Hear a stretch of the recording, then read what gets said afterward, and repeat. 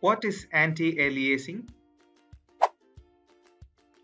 Anti-aliasing is the smoothing of the image or sound roundness caused by aliasing.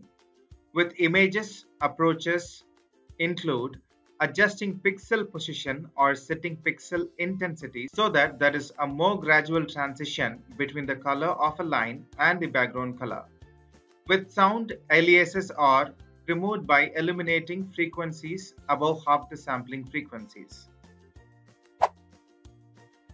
Okay, here is an example of a picture which is aliased and anti-aliased. So can you memorize what is anti-aliasing? Anti-aliasing is the smoothing of the image or sound roughness caused by aliasing.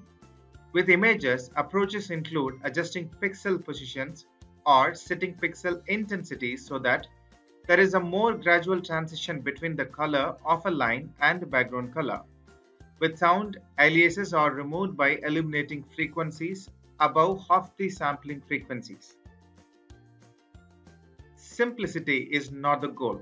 It is the byproduct of a good idea and modest expectations by Paul Rand.